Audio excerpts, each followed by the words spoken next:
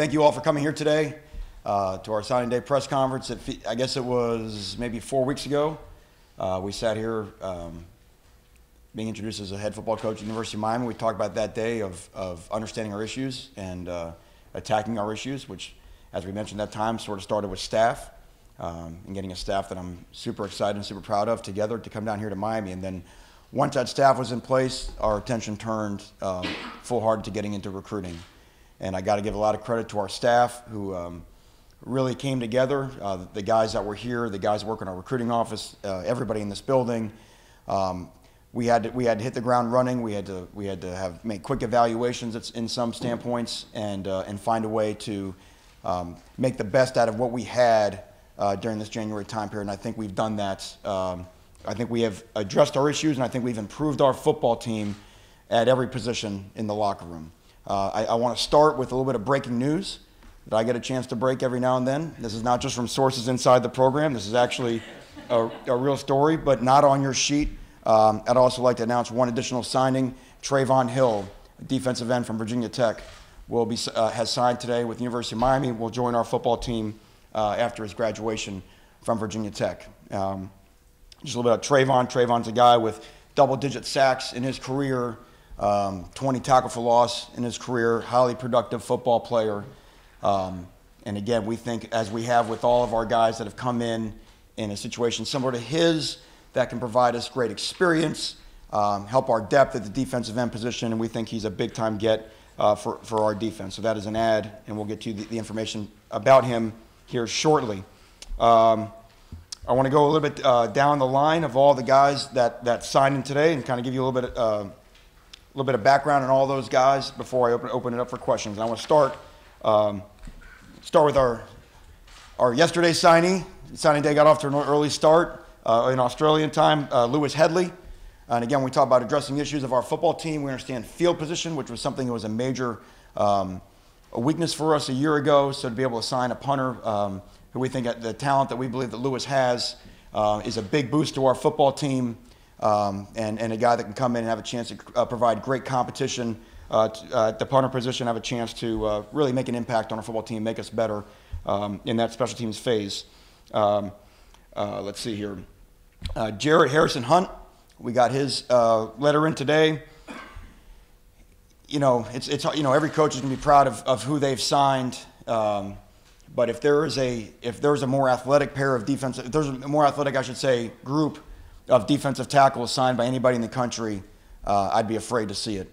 Uh, we, uh, as a coaching staff, obviously Jess Simpson did an unbelievable job of, um, of really, really signing some quality defensive linemen. But Jared uh, plays, basket, plays football and basketball at Christ the King. And if you know anything about New York City basketball, that is a big, big time program.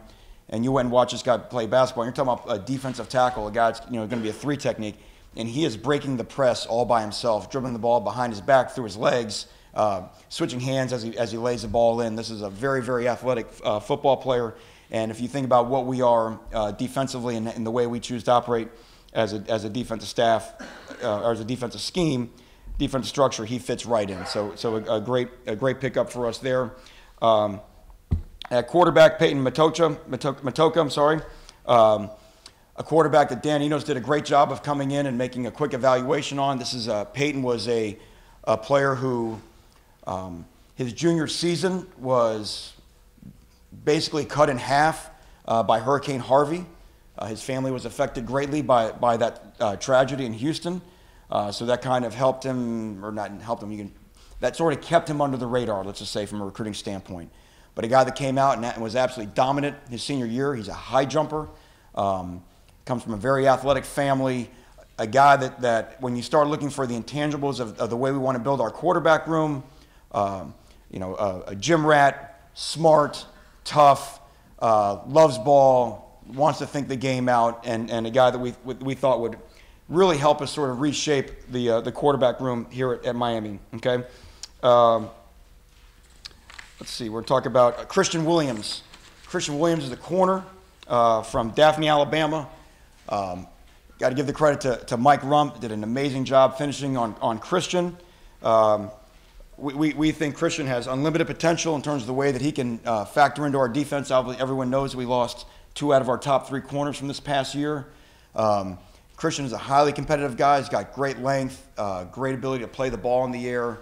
Um, great young man, very, very, very intelligent football player, uh, and again, just a very highly competitive kid who we felt like uh, fitness culture, his family had a great visit down here, and we, we think that he's got a great future in our secondary and really drawn um, by, the, by understanding the chance of what we do in the back end and how that really fits him as a football player. Staying in the secondary, uh, Bubba Bolden.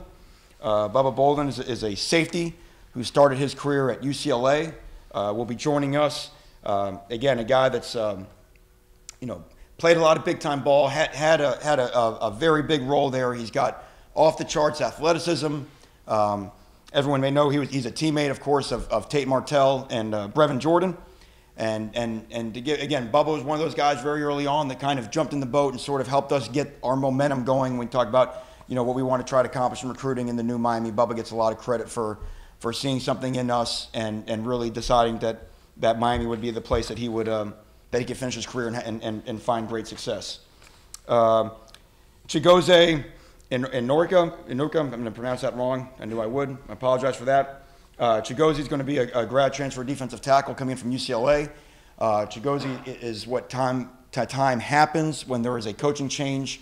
Um, at times, a new coach comes in and, and people want a different style of play, and uh, went from being a very highly productive player his, his sophomore year to to not as much as his junior year, but all you do is put on his tape and you can see again, if you think about what we've established as our, our defensive tackle play at the University of Miami, disruptive, guys in the backfield, guys wreaking havoc.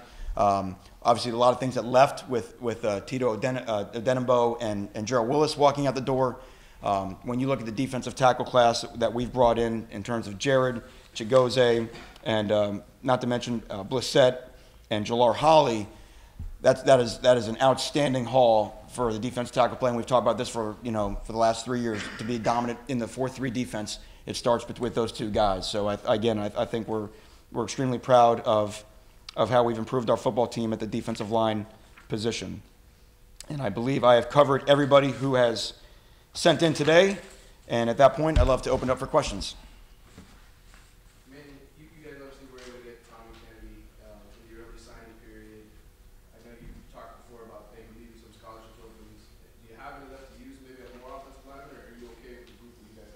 We have the ability to continue to improve our football team. Um, there are some targets that we're still working through, uh, and there's also the understanding that there will probably be, be more um, coming up through the, the, remainder of the spring semester. So yes, we've, we've got some flexibility to continue to find a way to build the best 2019 football team we can.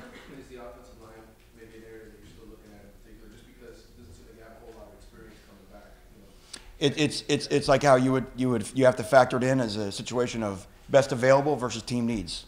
You know, so I think I think we'll look for whatever we can find and find the best available guy and find out how it fits what we need. this being your first national signing day, really, um, as a head coach, uh, how does that differentiate from the position you've held before? Well, I mean, obviously you're recruiting on both sides of the ball now, right? And um, and you know you, you have a different role. You can't be in the schools as often, um, stuff like that. But I mean, recruiting is still relationships.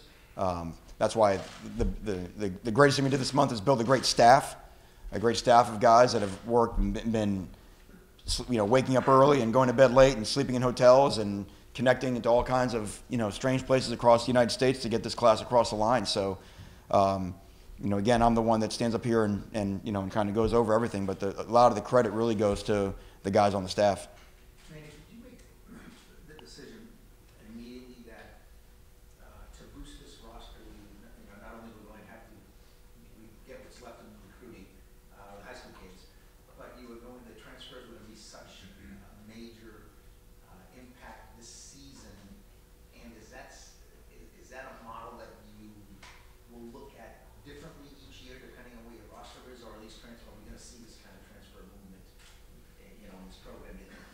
There's, there's, okay, to start with, we did not sit down and say, okay, let's go hunt, you know, these guys coming from other schools.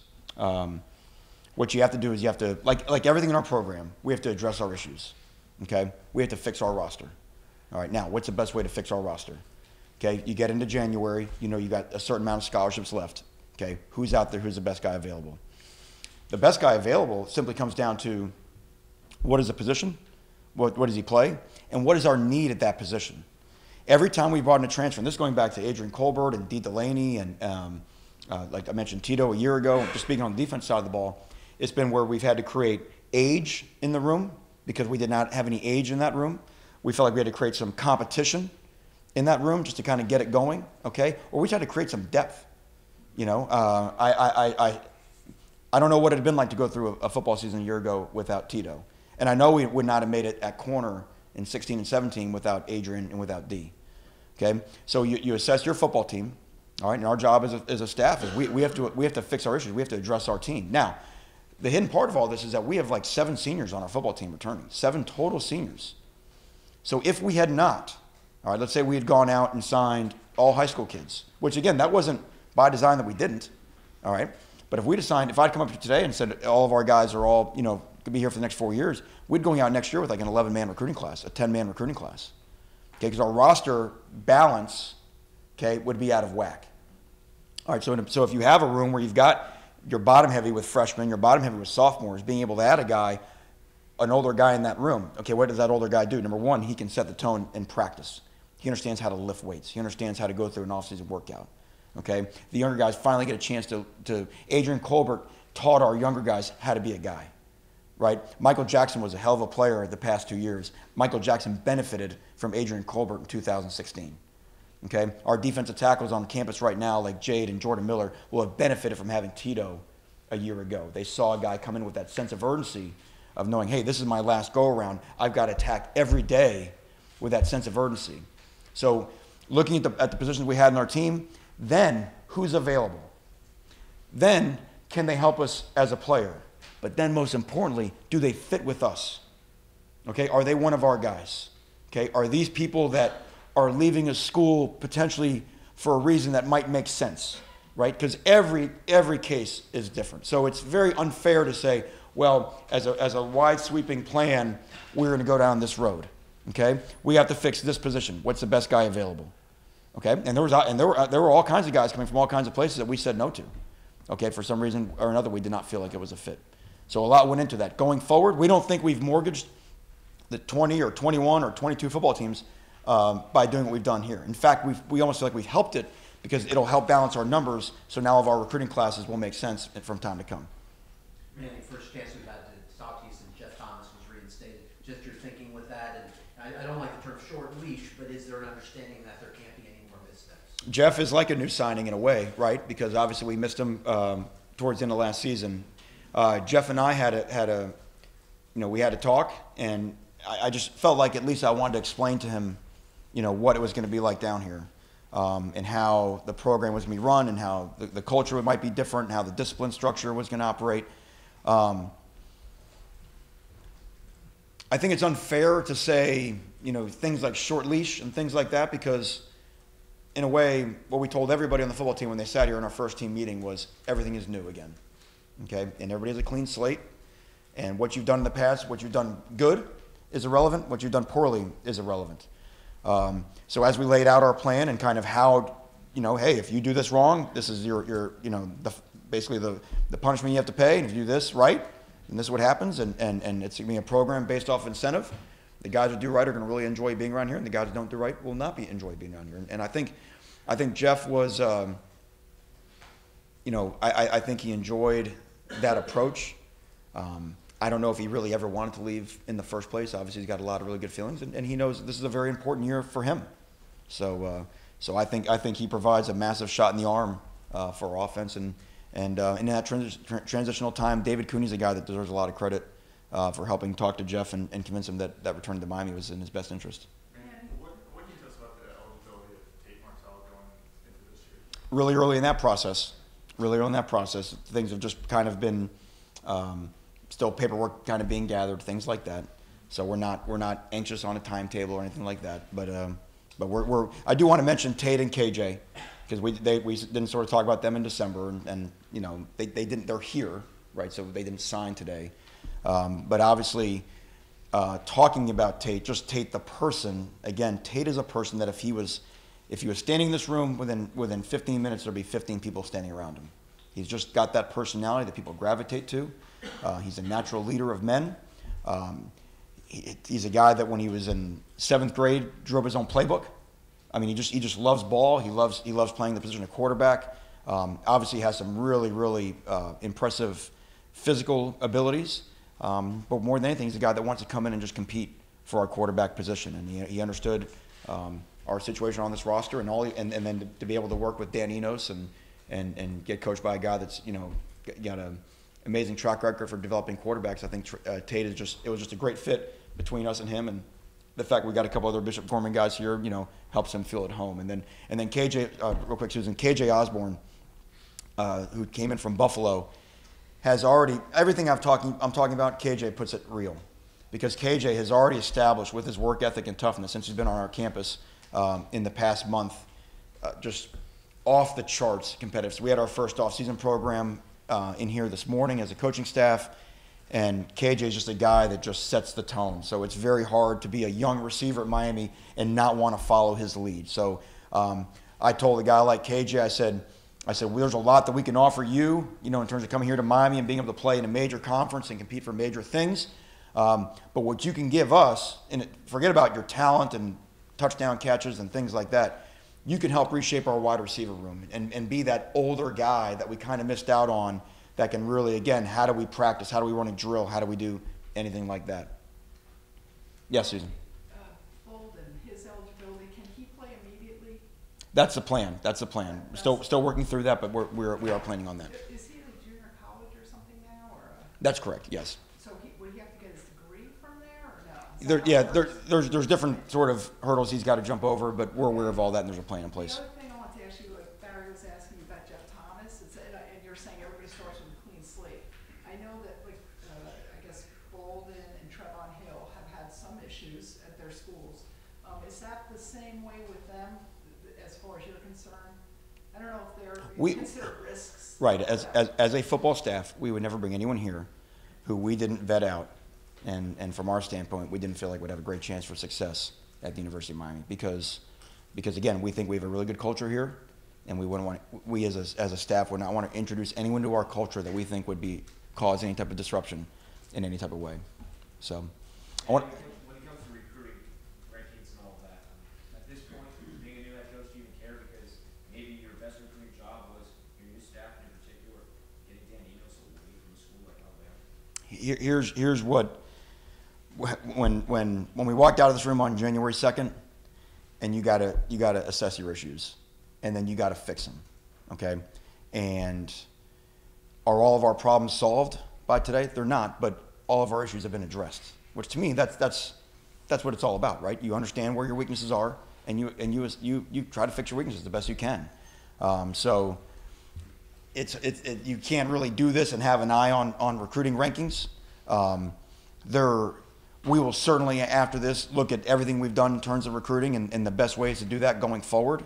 But I don't know, this class is so bizarre, right? Because you have all these transfers and those guys don't fit in the recruiting rankings. And, you know, I don't really know how to. I'm not going to sit here and try and, and beat our chest and say, hey, you know, you know, our class should be ranked here, or our class, because to be honest, when, when we kick off in August, nobody will care. It, it really doesn't matter. So we just we, we like what we have.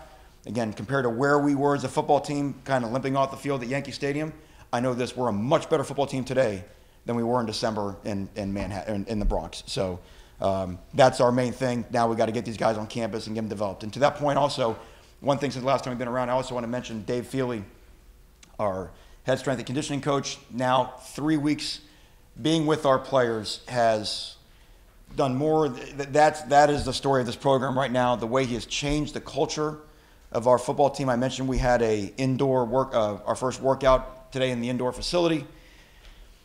It was, it was a good workout. It was kind of a sort of an appetizer for what it's going to be when they come back here next week. Um, the workout's over. 10 minutes out of the workout, there's still 40 guys in the indoor just out there just doing extra work. Um, Saturdays, we, we, you know, we work out four days a week right now in the month of Jan- in, we, in January. Saturdays, they get they have a chance, chance to come in. It's optional. It's not a lift. They can just come and stretch or, you know, foam roll or things like that. I think the first Saturday, I think we had like 44 guys in, 45, four guys in, something like somewhere in that mid 40s number. I think the second week it went up to 53. This past week it went up to 65. Right, so, so we wanted to create a culture where guys wanted to walk into this building. Guys wanted to be in this building.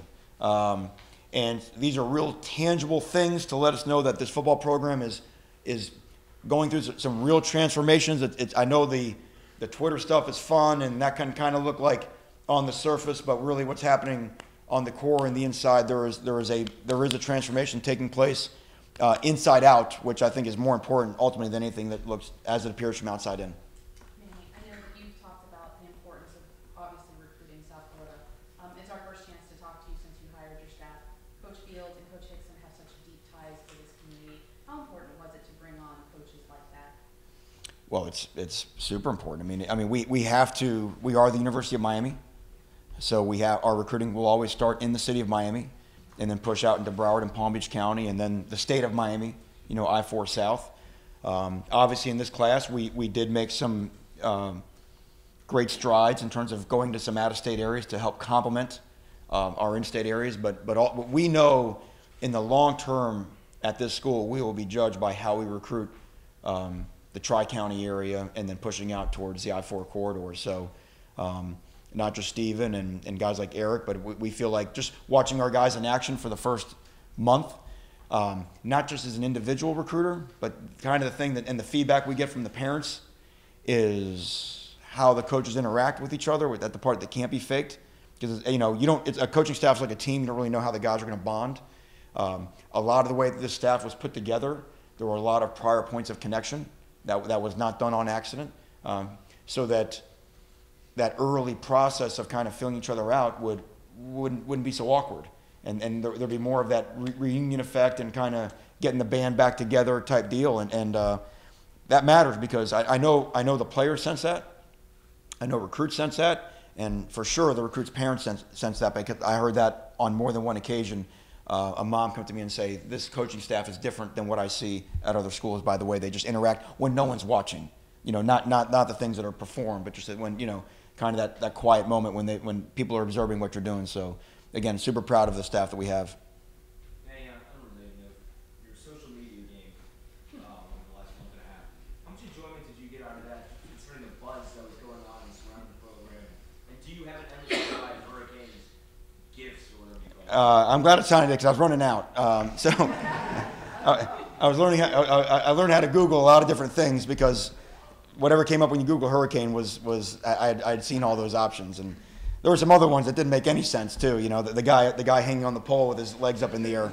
Um, but uh, no, you know, it's it's um, I don't know. You know, every, every time I tweet something, I'm tweeting it to a a 17 year old. I'm, I'm tweeting it to, to, to someone that's in high school. To me, that's who we're selling our program to every day because that is the future of our program. Um, you know, again, I think we can do this job and, and act like we're having fun doing it, you know, but we got, but we still got to eat our vegetables, you know. I mean, this program still be based off of, you know, you know, some core things and, you know, that, that never change and always win. Um, but if you know you're doing those things right, there's no reason why we can't act like we're enjoying each other's company and, and enjoying ourselves doing it. Do you ever get any sleep? I always wonder, what time do you go to sleep at night? Just looking when I'm not tweeting. Manny, how, how's Nkosi Perry been, and and also the other quarterbacks since the season's in? ended? Uh, the, I mean, really, the only way you can evaluate the guys right now is what they're doing in the weight room and what they're doing academically. Um, so I think everybody has got a good attitude. You know, everybody's trying to do right. Um, like I said, today's the first day that our team had a chance to perform for our coaching staff. Um, and the temperature of that will get turned up to 11 on Tuesday morning. And I think on the next eight days, starting next the next eight opportunities over the next four weeks, we'll know a lot about who we have, you know, character-wise. Um, and then at that time, we can also start, you know, introducing some ball to them in a meeting structure. And then we go away for spring break, and then uh, and then here we go.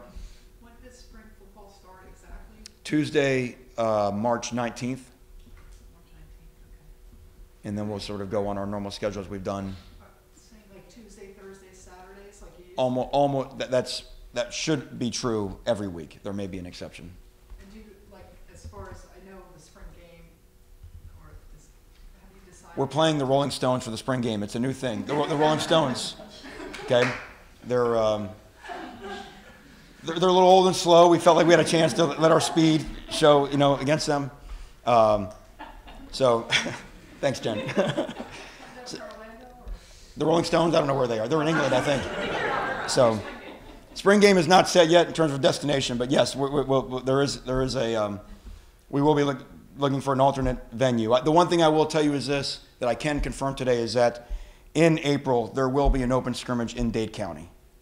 All right, so whether you you know we, we, don't, we don't know what a spring game is anyway. Open, you mean for fans fans, not just media? Open.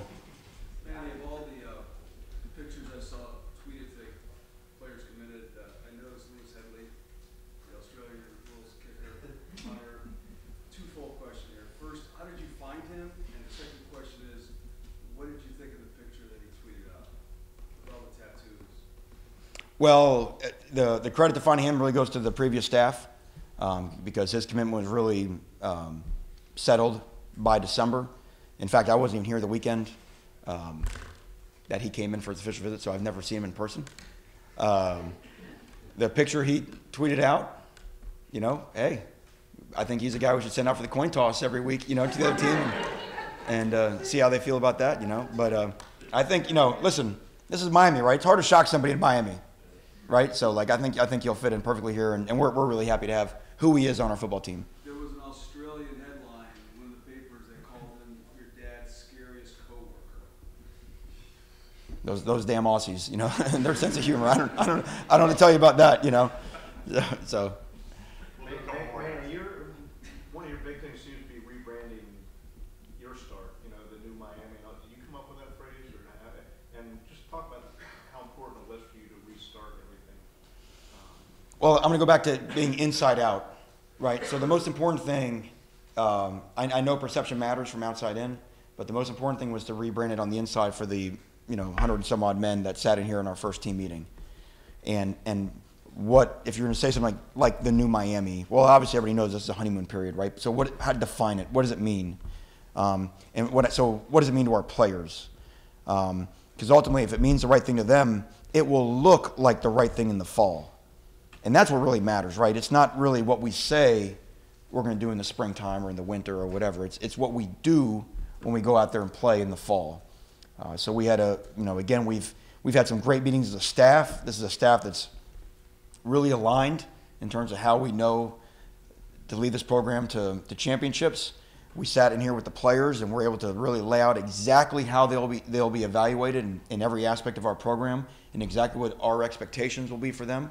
They understand our standard here at Miami is extraordinarily high. And quite simply, they'll, they'll, they will raise their level of play and, and level the way that they do everything to that standard, or ultimately they'll, be, they'll get passed up by someone else who will. And to be able to create that competition and that culture here at Miami again, uh, where the locker room polices the locker room, uh, is one of the big things that, we, that we've made this spring all about. When we get our leaders in this room right here to, to take over this football team, we're going to have a chance. And, and we're, we're in the baby stages of that right now. We're not ready to, I don't know if we'd even, I'd take the Rolling Stones in the points if they played us right now. But I think we've got a chance, if we keep doing what we're doing, to look the way we want to look come fall. Manny, what was that first meeting for you with, with the players and going out to the indoor facility and the fun you guys had? How important was it to, to strike that balance of fun and new Miami and business? Yeah, well, there's a lot of tension, right? Because you know you get the job, you don't see the players for two weeks. So you know those guys come in, and it's a little different. And, and who is this? You know, half the, the team doesn't hasn't really been in meetings with you, and they don't really know what it's all about. And um, so just to be able to break the ice, you know, everybody coming here, it's a different room. Our, our team meeting room is, is is out of out of order right now, and break the ice. And again, it's different. Something's changed. Okay, this is not the same building you came and walked into. There's a lot of great things in this program from the last three years, and all those things are still intact. Okay, but they had to know that something had been that something was different. The way we were going to go about our business was going to change. So we went out there and we had our fun, and that, that kind of broke the ice, kind of broke the tension. You know, what I mean, kind of got relaxed. We came in here, and the part we couldn't put on Twitter, and we met, and, you know, as a coach, you don't want to have a meeting that lasts over an hour for sure. We, we were probably in here for an hour and 20 minutes. And the kids the whole time were like this. I mean, they were on the front of their seat, I mean, looking forward and, and highly energetic, dialed in. And, and that's where we laid it out. We laid out who, who, who are we? Uh, because when you sort of give birth to a program or give birth to a team in any year, you have an opportunity to really set whatever core values you want to set into who we're going to be. So it was important the second our guys walked out of this building that first night, they knew exactly who they were or what the standard of who they have to be is and whether they can live up to that or not live up to that. But uh, so, like I said, out there we had the dessert first. We came in here and we ate the meat and potatoes, which is really ultimately that's going to be who we are. I mean, we, again, out, from the outside in, I think it's great to present the fun and all that type of stuff, and we will have fun in this building. Um, but you don't win by having fun, right? You can't give the kid ice cream every day and expect, you know, have to have a healthy kid. So, um, you know, the real the real work is being done right now, and uh, and our guys, to be honest, they they love it. They're loving it up. Let's do two more guys. Coach, what was your top, like, number one thing that you focused on when, when talking to recruits or transfer targets? Was it the energy, was it the new facilities? Like, can you just pinpoint one exact thing that potentially swayed somebody to come? I think it's University of Miami. And, and that means a lot of different things. Number one, it means the university, the school. Um, you know, people could, you know, understand what type of institution this is and what type of uh, academic prowess uh, that this school comes with. Um, now you talk about the University of Miami, you're talking about the tradition, the ability to win. I think all the recruits know, whether the high school guys or the college guys, they know that this football team is not very far away for competing for championships. Um, and it maybe, maybe it just takes me. Maybe it just takes me in my position. And when you have that, and they can see that we're, I think the belief is we're a lot closer to the team that was in Charlotte in December of 17 as opposed to the team that was in New York in December of 18. Um, and we're not very far away because everybody likes winning. Everybody likes winning. And then everybody likes playing. You know, so you have a chance where you can sell, hey, listen, new, you know, playing time, new staff, fresh start, new ideas. Come in here, compete, and let's see what happens. So, you know, I, you know, you know, you walk in with a U on your chest. That's strong, you know. And these kids, they understand. Um, they understand what that means. Anything else, guys? Thank you. Thank you all so much.